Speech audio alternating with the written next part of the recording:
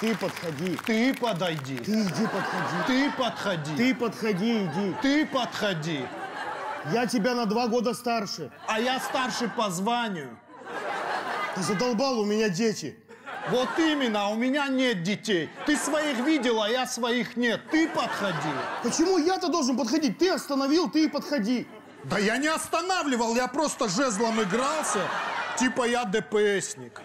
Ты дебил, ты и есть ДПСник. Только им не говори по-братски, а. Иди, зовут Да уже. я не пойду. Ты номера их видел? Нет. Да потому что их нет. У всех в мире есть номера, даже у бандитов из GTA, а у этих нету. Кто там сидит, я понятия не имею. Ладно, давай вдвоем подойдем. Мы, в конце концов, представители закона. Мы обязаны, мы должны. Ты неправильно понимаешь суть нашей работы. Мы представители закона, мы никому ничего не должны. Давай просто нашу форму на кусты наденем, а сами в лес убежим, пожалуйста. Мужики, я с соседнего, соседнего поста только сейчас черный гелик не останов... Вы что, остановили уже? Сигналил? Да. Блин, блин, нафиг я вообще в эти менты пошел, а? Сейчас бы спокойно, как все мои одноклассники, снаркоманился и все. Сидел бы дома, мультики смотрел, скорую ждал. Блин, кто там такой? Извините, господин Геленваген, а давайте поступим следующим образом. Я буду задавать вопросы. Если ответ «да», вы сигналите два раза. Если нет, то один. Понятно? Понятно. Вы из ФСБ? Вы из ЦРУ? Из ФБР? Из РПЦ? Ты что, сумасшедший? Какой РПЦ? Не видишь прошлогодняя модель? Блин, точно.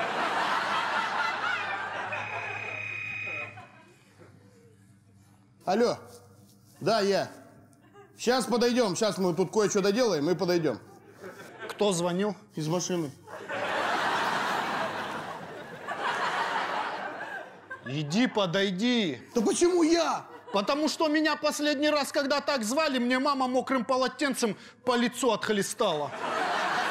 Иди.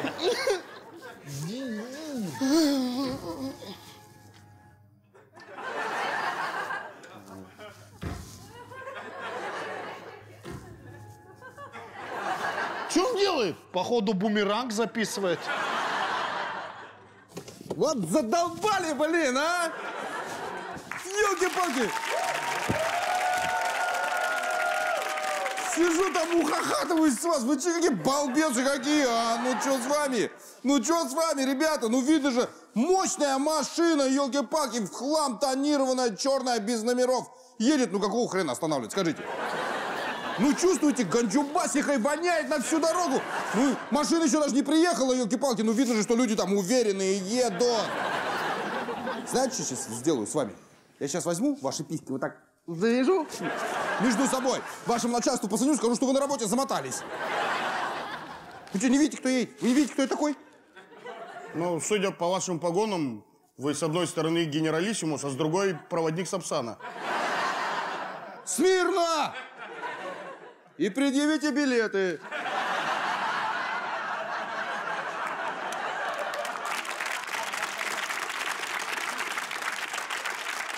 Неинтересно с вами. Блин, вот ни, нифига вы не умеете прикалываться. Я просто приколист, у меня просто денег до хрена, я просто прикалываюсь, схожу со всего, представляете?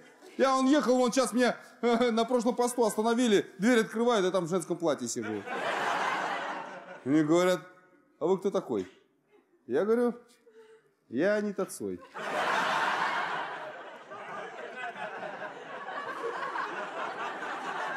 А я говорит, а чё, бухая?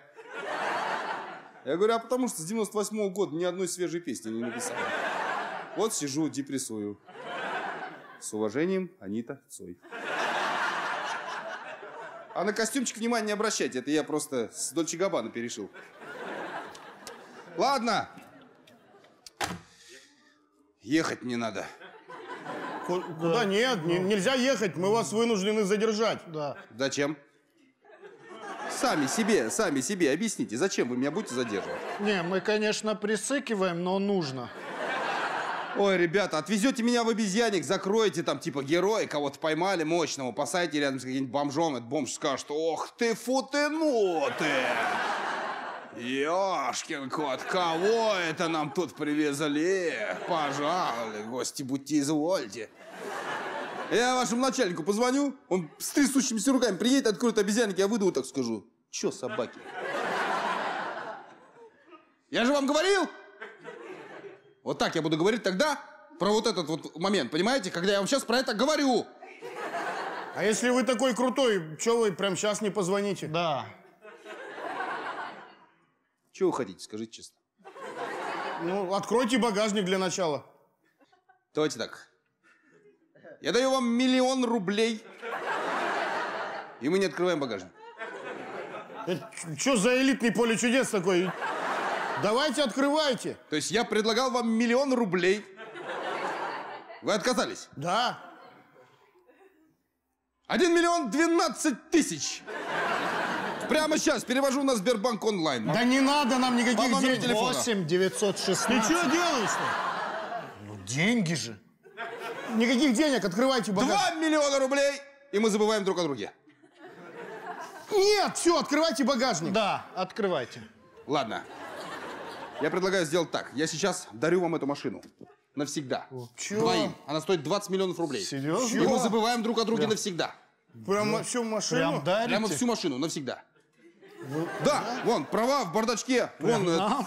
хотите пиджак мой возьмите. Ну, Чё? Да, да, да, да. Согласны? Да, согласны. Да, да. Серьезно? Да. Да.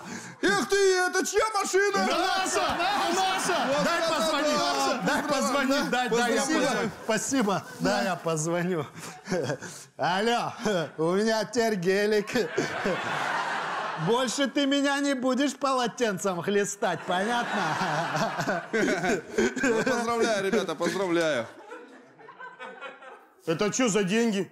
Это что за труп? А я откуда знаю? Это же ваша машина, ребят. Ваша машина, ваши проблемы. Это что за труп у вас тут? Чё, это, это твоя машина?